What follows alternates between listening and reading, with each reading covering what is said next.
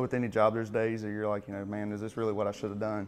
Um, but you know, I can look back and there's not a day goes by that I regret it. I'm really a big kid. I get to get on a big red fire truck and get paid to do it. So to me, there's nothing that could be better. I grew up seeing my dad do it, and my dad was always my hero. He was a veteran. He suffered from PTSD. He was bipolar. And you know, years of being uh, in the military, being a volunteer fireman, and then just his um, mental health prognosis, he was from that generation where you don't ask for help. So ultimately, on March 9, 2013, my dad committed suicide.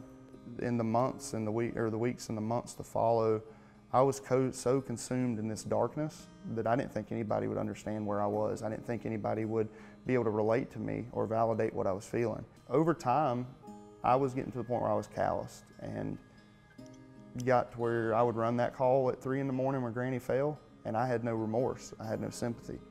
Um, but it was just all the years of that and me not positively dealing with it that I just didn't care. I was in such a dark place that the only option that I seen I had to win was to die. I sat there and I downed a bottle of Jack, went to my gun safe, I pulled out my dad's revolver, and I guess as, as dark as it sounds, if I was gonna die, it was gonna be my, my dad's gun. So I sit there for probably 15 minutes fighting with myself. Hey, do I wanna live, do I wanna die?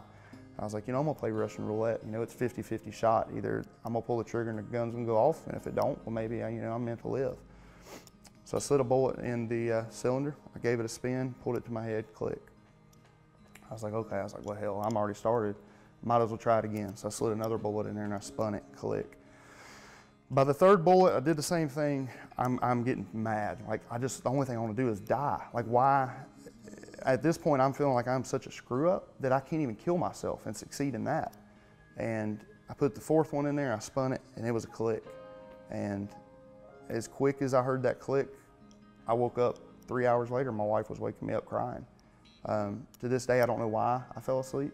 I don't know what caused that to happen. Um, but whatever it was, it saved my life. And it's allowed me to sit here today and to share my story and to help people that are in that same spot. Through peer support, you, you really learn that there's a lot more people that suffer just like you do. And it really helps to validate those feelings. I remember I thought about it when I was super depressed and when bad thoughts would come. I, I thought about making a phone call but I never had the courage to do it because I was scared to death of that phone call. So that's the hardest part of all this is trying to figure out how to get somebody to make that phone call. Um, it's the hardest thing anybody can do. A firefighter was three times more likely to die by suicide than in the line of duty, meaning we're more likely to die at our own hands than responding to calls. And everybody knows that our job is dangerous. We put ourselves in danger. So I got to researching that and I found out that we are susceptible to all those things, post-traumatic stress, sleep disorders. But the problem for us is we don't ask for help. We're learning about resources, what's available for us. We're learning the different tiers of resources, but more simply, we're learning to be there for each other. And what we found is when we find out that um, these feelings, these thoughts, these stresses are normal, that's almost the first line of defense for us.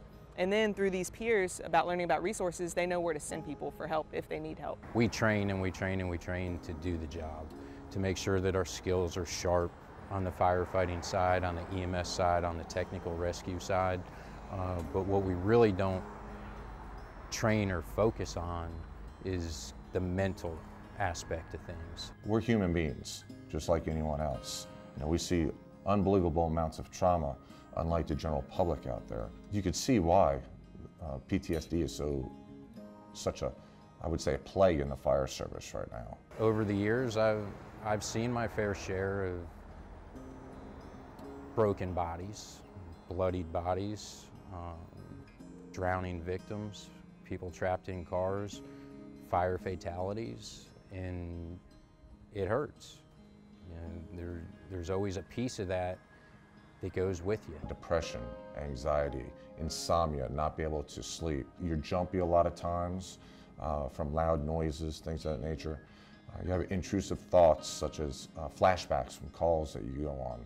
And also night terrors that wake you up in the middle of the night. Uh, you're thrashing around of just of people that you've uh, dealt with in traumatic instances before that are just coming back and haunting you. So it's, uh, it's been a rough road for me. Uh, it's been a rough road for my wife. It's been a rough road for my children, um, especially the last five years.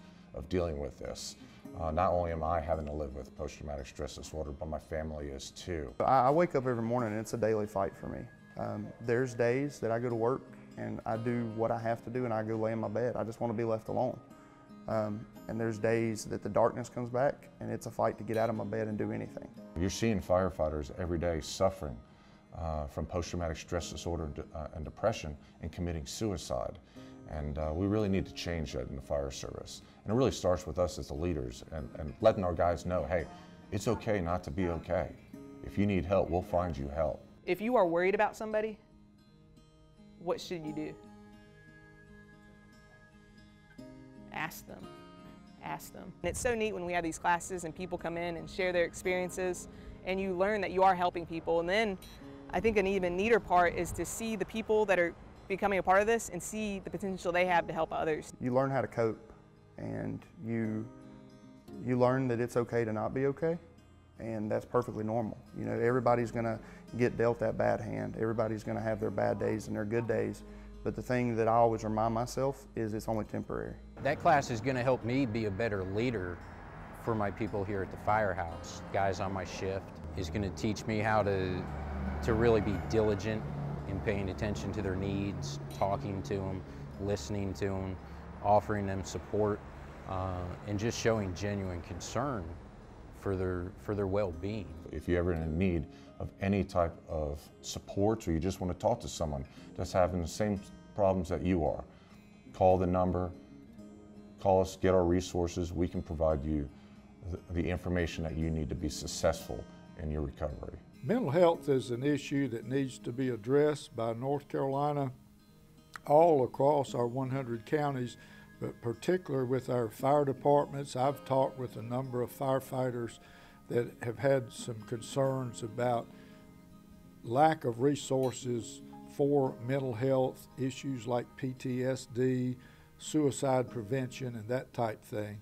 So we're doing what we can at the Office of State Fire Marshal to get more educational materials out to the fire departments and to provide whatever resources we can find to provide to our fire chiefs and the leaders in the fire service to help their members with resources for mental health.